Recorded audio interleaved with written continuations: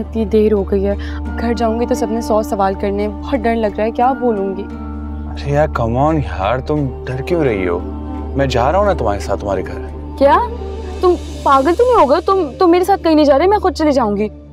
अब पक्का तुम्हारा घर यहाँ से काफ़ी दूर है। हाँ मैं मैं चली जाऊँगी तुम जल्दी से यहाँ से चले जाओ। कहीं कोई तुम्हें देख ना ले मेरे साथ और मैं आज तुम्हें अपने साथ घर नहीं ले जा सकूँगी। तो मैं मैं बस निकलती हूँ तुम तुम चले जाना ठीक है? भाई साहब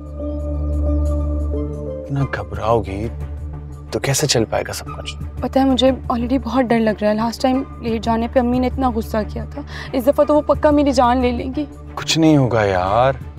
और अगर इस दफ़ा आंटी ने तुम पर हाथ उठाया ना तो तुम मुझे कॉल कर देना। मैं तुम्हें फ़ौरन लेने के लिए आ जाऊँगा। अच्छा बस ज़्यादा हीरो बनने की ज़रूरत नहीं है।